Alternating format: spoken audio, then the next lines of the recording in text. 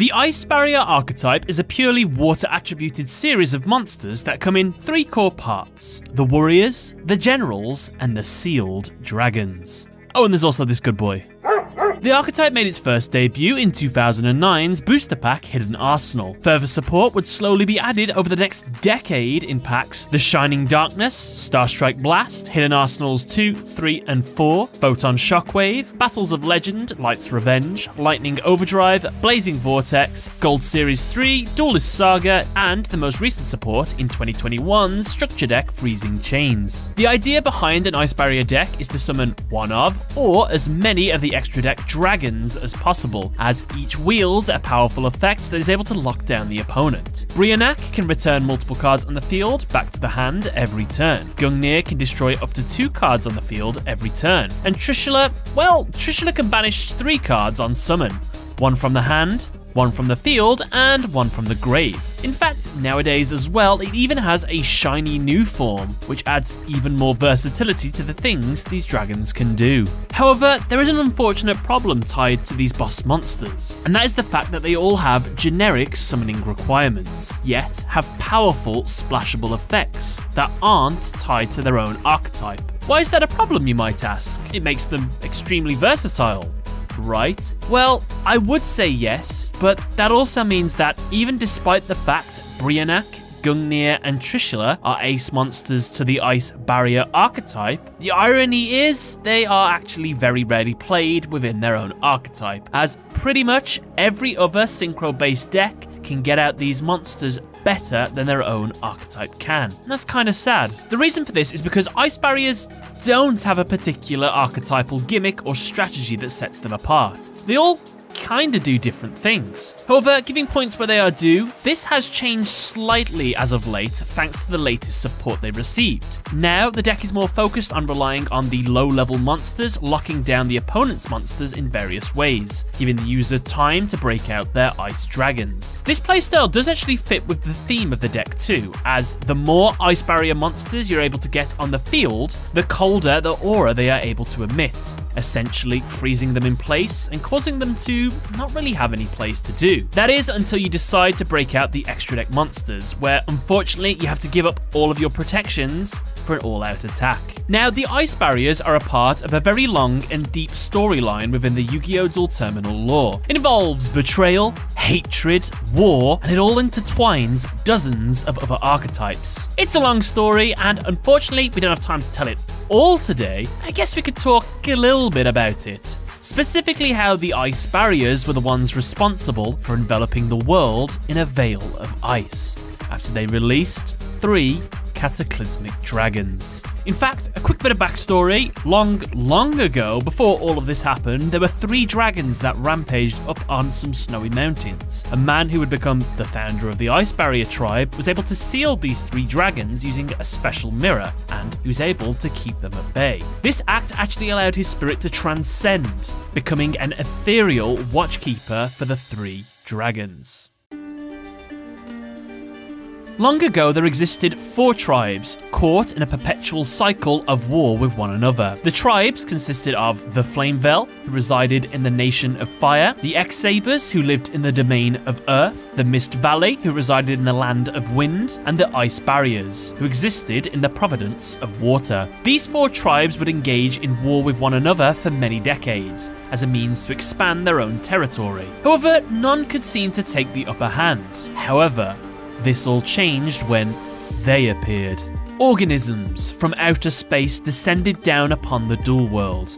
Monstrous biological creatures with slanted mouths and a slimy exterior. They were part of an invasive species that would latch itself onto passing meteorites and would lie in wait until they collided with a hospitable planet. Upon contact, they begin to mutate and evolve to fit their environment. Once ready, they begin to multiply exponentially. They have only one goal which is to consume every last resource on the planet they invade and then move on to the next. This new threat was suffocating and seemed almost impossible to beat due to how fast they were able to replicate. Though reluctant, the four tribes were forced to create a truce. They would hold off their attacks on each other and instead direct their forces towards their common enemy that they dubbed the worms. The Flamvells began scorching away the invaders. The X-Sabers met them head on in battle. The mist valleys would blow them away. However, it was the ice barriers that threw the biggest punch, as they decided to unleash one of the sealed ice dragons that they had dedicated their lives to keeping at bay. Believing that they could harness the dragon Brionac's power, they unleashed it. His chilling aura pushed the invaders back and almost wiped them all out. That is, until they realised that the worms had a very special power, something that had made them very effective at what they do. When the worms are exposed to a situation that could lead to their extinction, they begin to rapidly evolve, allowing themselves to adapt into an even more formidable form. The horrors that the worms unleashed from that day was unspeakable. Countless tribes were slaughtered in a landslide of bio-organic horror. The tribes that were still alive gathered together and held a conference. They realised that they couldn't oppose the invaders alone and decided to join together in an all out attack. They named this alliance the Allies of Justice. They would bring together the best of each of their technologies and magics to create powerful anti-worm weapons. The first of these to be developed was the prototype Ally of Justice Core Destroyer. The group had created the Ally Mine to power the machine. It had been loaded with elements collected from the meteors the worms had come from, and as such, it made the machines highly tuned in terms of its performance to eradicate worm-like entities. One field test with Core and after seeing its capabilities, they continue to develop it even further into the ally of Justice, Catastor. As soon as Catastor was deployed on the battlefield, the results were immediate. It tore through countless waves of the worms, decimating everything in its path, not allowing them even a chance to evolve. Over time, more justices were developed and used to wage war. However, there was simply not enough of them to end the invasion. The worms began spreading even further across the continent, spilling into the forests of the Naturia, the lands of the Jurrac, the Genex, and even the Fables. With more and more soldiers continuing to be slaughtered, the ice barriers hesitantly decided to release the second of their sealed ice dragons. The dragon Gungnir, whose breath of ice froze thousands of the worms in place, allowing the allies of justice to shatter them to pieces. This event had slowed down the spread significantly, but it was again not enough to cull the invaders. The tribes began to sense a final battle was approaching, and so they began construction on an ultimate weapon. Their suspicions proved correct, as the sky began to rip apart. What came out was something that the denizens couldn't believe. An entire hive mind of worms. The amalgamation looked almost like a moon as it descended down upon the planet. Worm Zero was the name it was given. The creature, as it approached the planet, began absorbing all of the other worms into itself, growing stronger and stronger as each second passed, killing and swallowing anything that merely moved before it. In a panic, the tribes revealed their trump card, the Ally of Justice Decisive Armor. With the collective power of all that had made it, the weapon fired into the heart of the Worm Zero. With its supreme anti-worm technology embedded in its core, it was able to rip a hole through the Worm Zero, which slowly began to spread, disintegrating every last molecule of every last worm that made up its being. They had won. The battle was over. The tribes, exhausted and diminished from the months of war, let out a heavy breath of relief.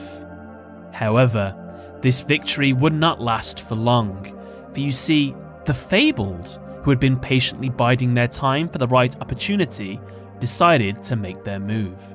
They began attacking the other tribes while they were weak and broken. Their victory was almost assured, and it appeared that the Fabled would be the clan that would achieve world conquest. That is, until the ice barriers, with what little strength they had left, decided on a final play. They would break the seal to the most destructive force known to man, the final sealed ice dragon, Trishula. Blinded by hatred and without thought for consequences, the ice barriers unleashed Trishula upon the Fabled. The results were better than they could even have imagined.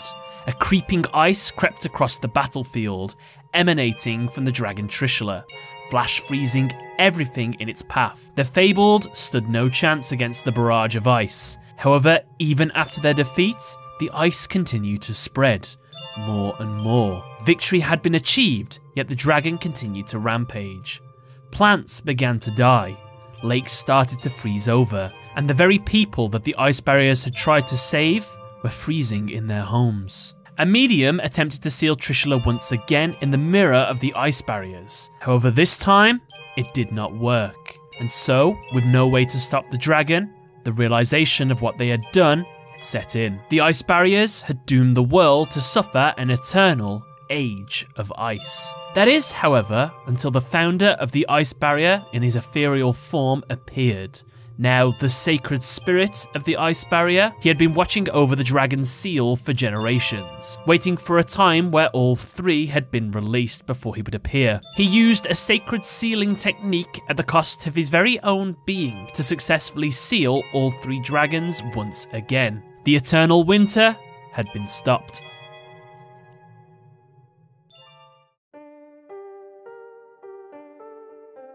In terms of the monster lineup, the ice barriers are, well, pretty big. So how about we look at them in separate parts? Let's start off first with the variants. We have five tuners in the deck, which are the Ice Barriers Hexa Spirit, Dewdark, Cryomancer, Defender, and Geomancer. There is one spirit monster in this archetype, Sacred Spirit of the Ice Barrier. After this, we have the rest of the main deck monsters. The level 1s, Blizzed Defender and Caravan of the Ice Barrier, the level 2s, Secret Guards, Zuijin and Prior of the Ice Barrier. The level 3s, Warlock and Shock Troops of the Ice Barrier. The level 4s, Speaker for the Ice Barrier, Numbing Grub in the Ice Barrier. Those two have a little bit of a variant in their names, fun fact. Spellbreaker, Pilgrim, Strategist, Dance Princess, Revealer, Mirror Judge, and Samurai of the Ice Barrier. Then we have one level 5, Royal Knight of the Ice Barrier, one level 6, Dai Sojo of the Ice Barrier,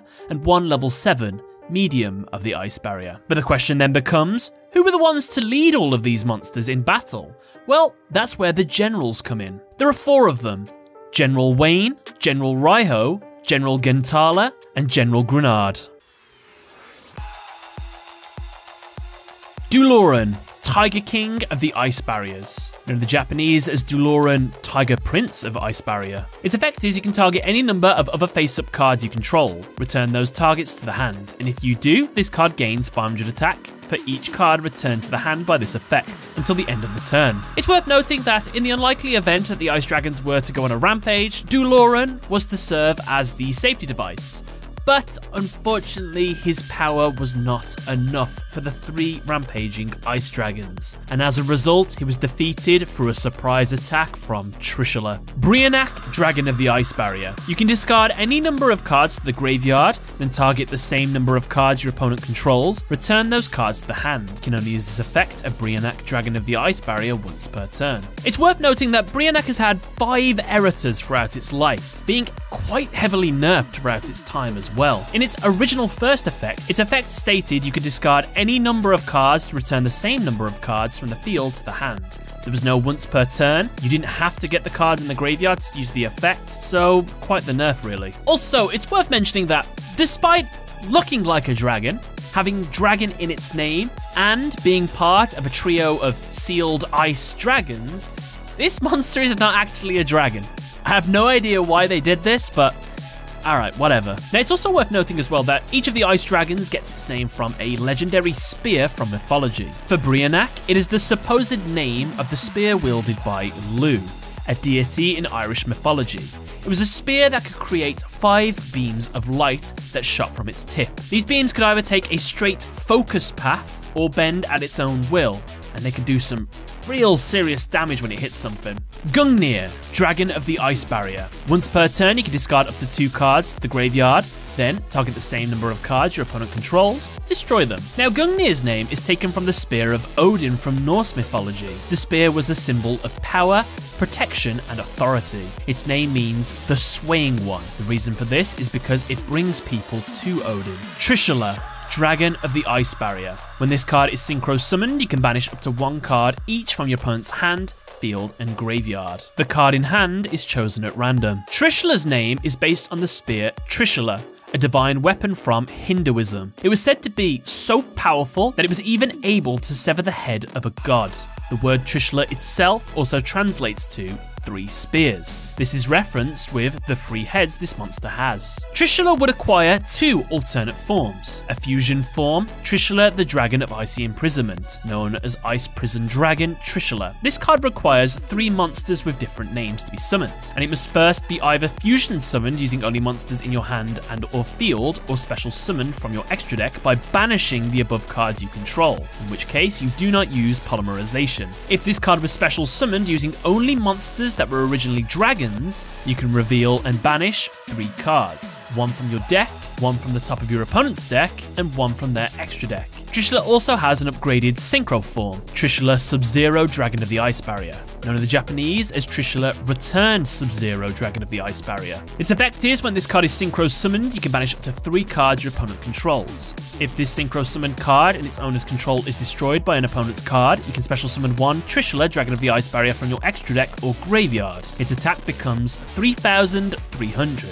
Halve the attack of any face-up monsters your opponent currently controls, also negate their effects. Can only use the effect of Trishula once per turn. Note that each dragon that follows the dragon before it has attack that is increased by 200 and defense that is increased by 300.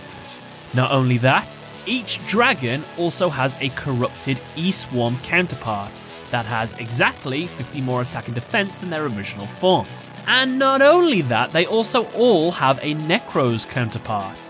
They all seem to be wearing their hides as armor and use weapons made from them too. Despite a rather large monster lineup, the spells and traps, well, there's not that many of them. There's Medallion of the Ice Barrier, Winds over the Ice Barrier, which is known in the Japanese as the Storm Clearing over the Ice Barrier, Magic Triangle of the Ice Barrier, Freezing Chains of the Ice Barrier, known in the Japanese as Crystal Wall of the Ice Barrier, as well as Mirror of the Ice Barrier and Terror of Trishula, known in the Japanese as Pulse of Trishula. And with that, guys, that is the Ice Barrier archetype done. Let me know what you thought in the comment section below. Before we go, let's say a big thank you to the people that help make these videos possible, my sponsors, to my platinum backers that give that little bit extra every month, Nemo-chan77, thank you so much, it means a lot to me. As well to my YouTube and gold backers, Michael Waklorski, Silver Defender, Stefan Paul, Goosey Q, Ignis Drasil, Omar Lopez, Yu-Gi-Oh! Everything, Queen Elizabeth Denise Leggin, Jeremy Pontier, Kobe Selvaniagam, Danny Bound, Jeremy Benj, as well all my silver backers, and with that, I'll see you all next time.